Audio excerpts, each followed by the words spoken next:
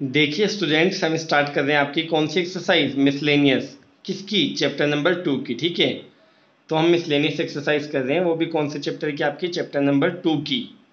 तो हम देखेंगे इसमें क्या दिया है आपको। फ़र्स्ट क्वेश्चन आप देखिएगा।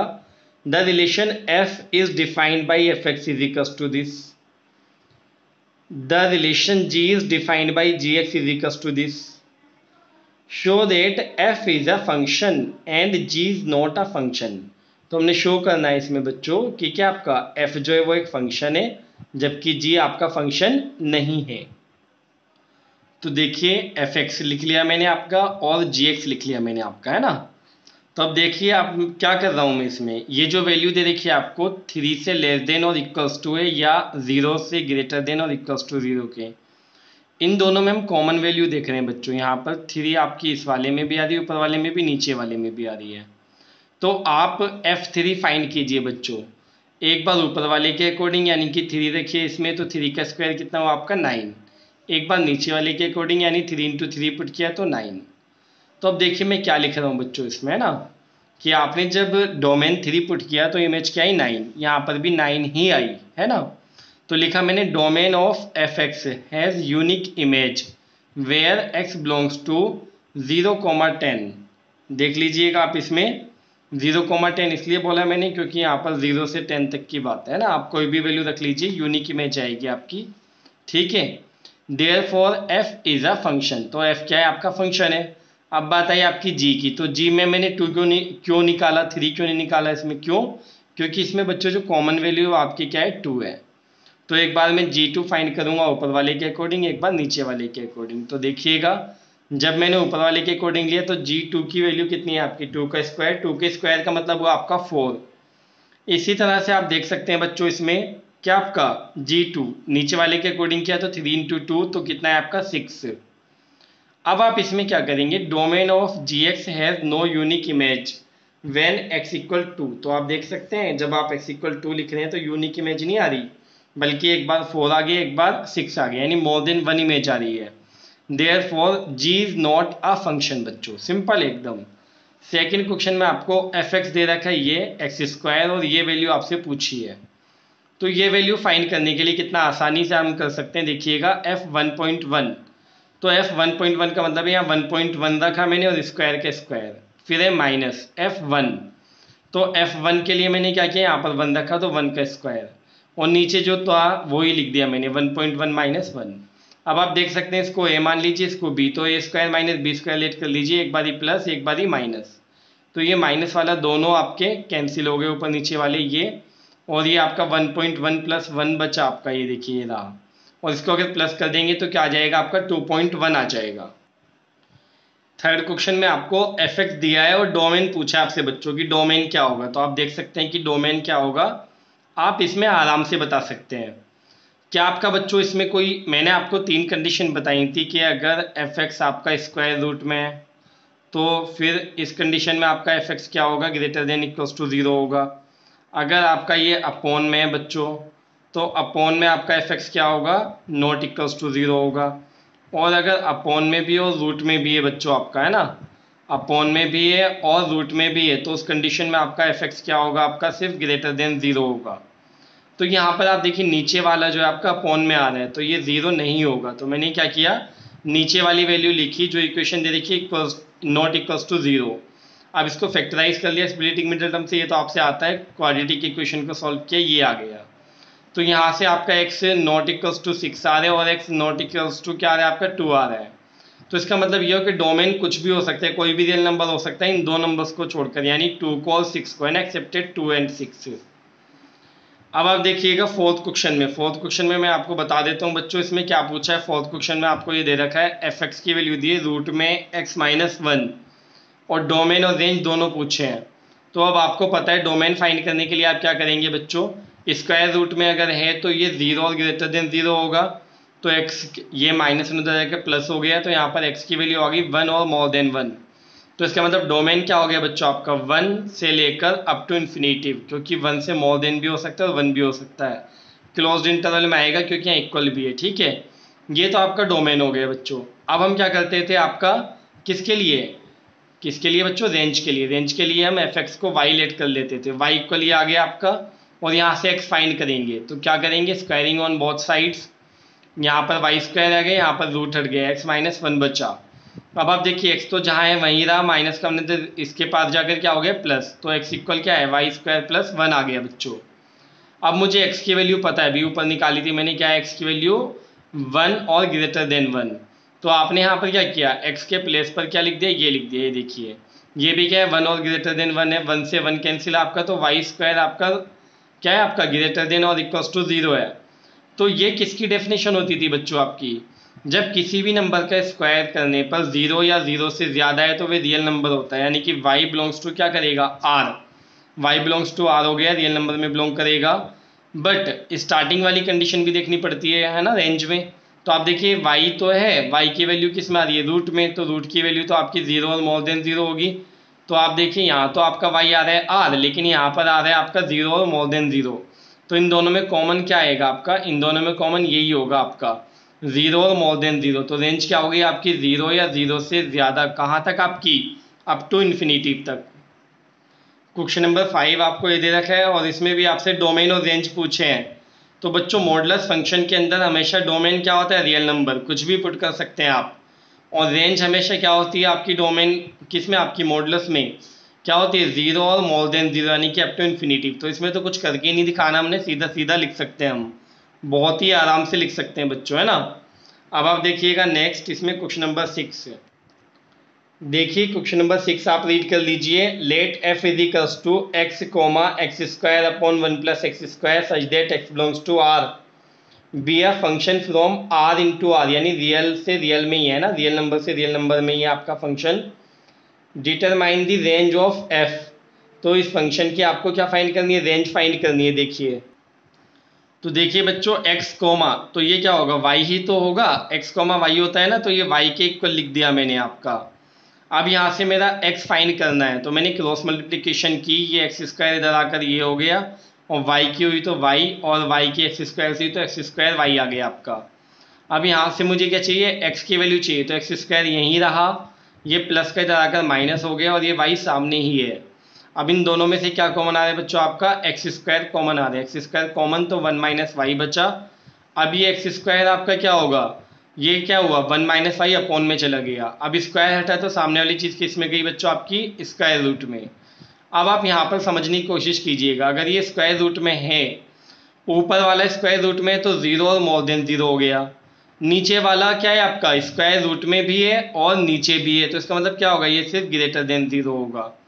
तो यहाँ से वाई उधर जाकर प्लस हो गया तो वाई की वैल्यू आई वन से लेस देन जबकि यहाँ पर वाई की वैल्यू क्या है? ज़ीरो और मोर देन ज़ीरो तो इन दोनों से क्या कंक्लूजन निकलेगा बच्चों आपका? इन दोनों से कंक्लूजन ये निकलेगा कि y जो है ज़ीरो और ज़ीरो से ज़्यादा होगा, लेकिन वन से कम ही कम होगा, यानी कि ये आ गया आपका, है ना?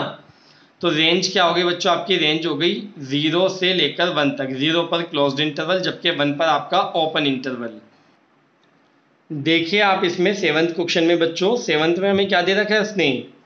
Let f g such that R tends to R be defined respectively by f x equals to x plus one g x equals to two x minus three find f plus g f minus g and f upon g तो ये मैंने आपको example कराया है इसका, ठीक है?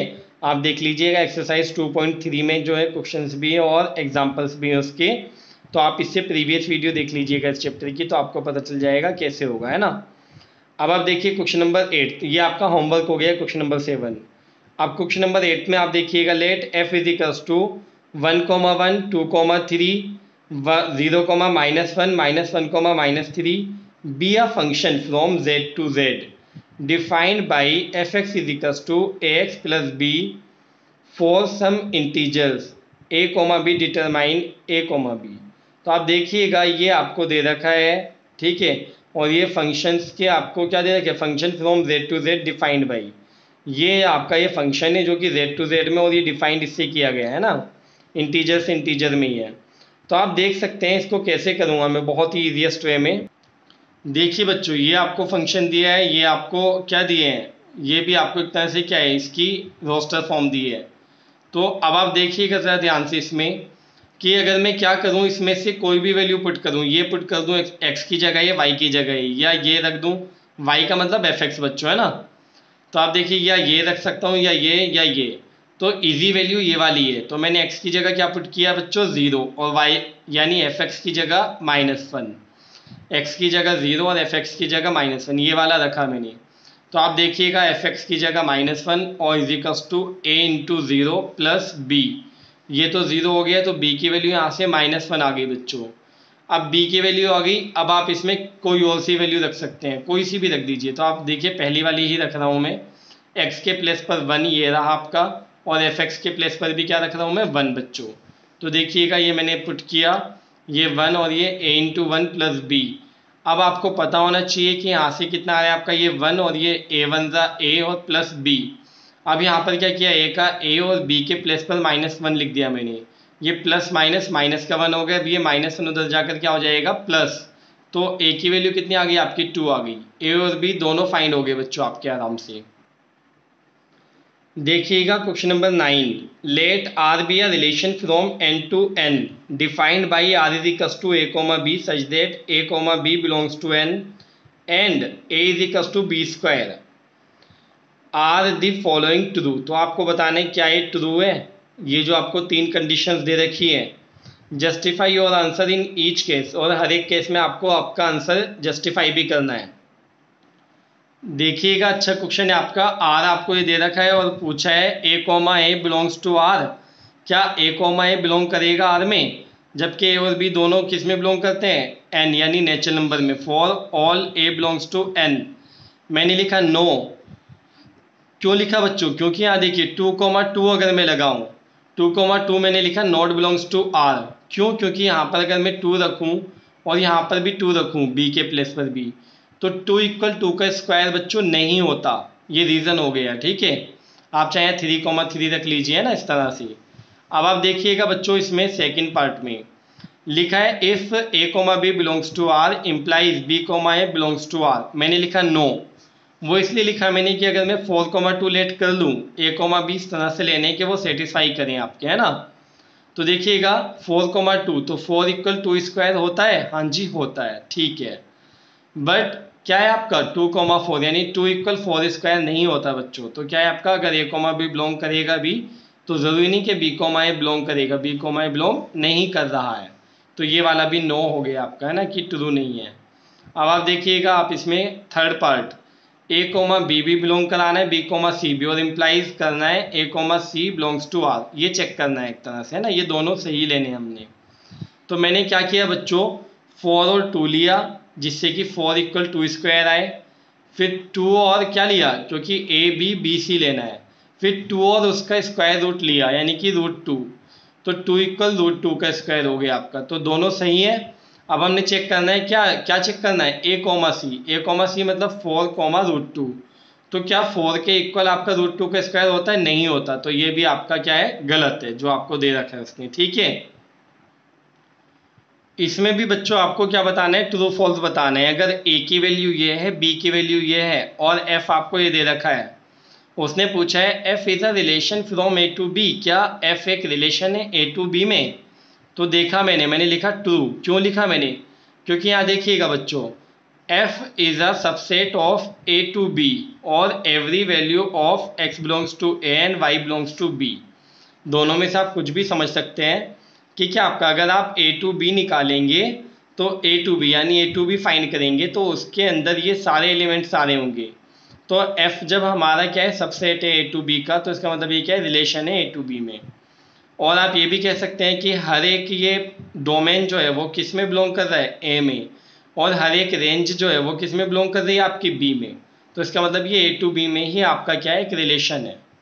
अब देखिएगा नेक्स्ट उसने क्या पूछा है? पूछा है f is a function from A to B क्या एफ़ एक फ़ंक्शन है ए टू बी में? तो आप देख सकते हैं one comma five two comma nine three comma one four comma five two comma eleven two comma nine भी है और टू कोमा इलेवन भी है। यानी कि टू की आपकी मोर देन वन इमेज है तो ये क्या है? फ़ंक्शन नहीं है। False two has more than one image therefore f is not a function तो इसका मतलब ये फ़ंक्शन नहीं है बच्चों। देखिए आप question number eleven. Let f be the subset of Z to Z defined by f is equals to a b comma a plus b a और बी दोनों बिलोंग कर रहे हैं आपके जेड में यानी इंटीजर्स में। इज़ एफ़ आ फ़ंक्शन क्या एफ़ एक फ़ंक्शन है? From Z to Z justify your answer मैंने लिखा put a is to zero b is to zero a और बी मैंने दोनों ज़ीरो लिए तो यहाँ ए इंटू बी कितना आएगा? आप देख लीजिए, यानी a b zero into zero zero और ए प्लस बी कितना है आपका? यानी ज़ीरो प्लस ज़ीरो ज़ीरो तो इसका मतलब जब मैंने ये वैल्यू रखी डोमेन की तो रेंज क्या आई आपकी ज़ीरो ज़ीरो पर ज़ीरो आई तो ज़ीरो कॉमा ज़ीरो अब आप देखिएगा, मैंने पुट किया a is to zero and b is to one तो जब आपने ए इंटू बी फाइंड किया तो ए इंटू बी कितना आया बच्चों आपका? आप ध्यान से देखिए। ज़ीरो इंटू वन यानी ज़ीरो लेकिन जब आपने ज़ीरो प्लस वन किया यानी ए प्लस बी तो वन आया। तो ज़ीरो पर वन देखिए स्टूडेंट्स ज़ीरो पर ज़ीरो आ रही है एक बार इमेज और ज़ीरो पर एक बार क्या आ रही है? वन इसका मतलब क्या हुआ? Zero has more than one image therefore f is not a function इसलिए एफ़ हमारा फ़ंक्शन नहीं होगा। आप समझ सकते हैं बहुत आराम से, ठीक है? अब आप देखिएगा इसमें। क्या कहा है उसने? क्वेश्चन नंबर ट्वेल्व में, क्वेश्चन नंबर ट्वेल्व आपको दिया है a is equals to this f such that a tends to N f n the highest prime factor of n तो एफ़ एन बताना है आपने एफ़ फाइंड करना है बच्चों। तो देखिएगा आप इसमें बच्चों कि एन तो आपके ये हैं, एक, दो, तीन, चार, पाँच फाइव वैल्यूज़ दे रखी है। तो इनके प्राइम फैक्टर्स देखने लेकिन कैसे? हाईएस्ट तो आप देख सकते हैं highest prime factor of nine nine का प्राइम फैक्टर्स क्या होगा? वैसे प्राइम फैक्टर नाइन में एक अकेला थ्री आता है। ठीक है? तो क्या है आपका? थ्री जो है वो हाईएस्ट भी हो गया। अब आप टेन में देखिए। टेन के फैक्टर्स में टू भी आता है फाइव भी आता है। दोनों ही क्या है आपके? प्राइम नंबर से लेकिन टू और फाइव में ग्रेटेस्ट कौन है? फाइव तो फाइव लिखा। इलेवन का इलेवन आ गया आपका। अब देखिए ट्वेल्व तो ट्वेल्व में क्या है, आपका टू भी फैक्टर है, इसका थ्री भी है। होने को तो फोर भी है, लेकिन वो प्राइम नहीं है। सिक्स भी है, वो प्राइम नहीं है। ट्वेल्व भी है, वो प्राइम नहीं है। लेकिन टू और थ्री आपके दो फैक्टर इसके प्राइम है, और उनमें टू और थ्री में ग्रेटेस्ट कौन है? थ्री तो थ्री लिख दिया। और थर्टीन का सीधा थर्टीन ही आ गया। तो बच्चों, हम बता सकते हैं रेंज पूछी थी आपसे उसने। रेंज क्या हो गई आपकी? क्या आपका? देखिए three five eleven three five eleven और थ्री तो रिपीट हो गए तो थर्टीन। तो थ्री फाइव एलेवन और थर्टीन। ये चैप्टर हमारा कंप्लीट हो गया बच्चों, बिल्कुल अच्छे से। और ये लास्ट क्वेश्चन आपका। क्वेश्चन नंबर ट्वेल्व बहुत ज़्यादा इंपॉर्टेंट क्वेश्चन है आपका। ध्यान रखिएगा।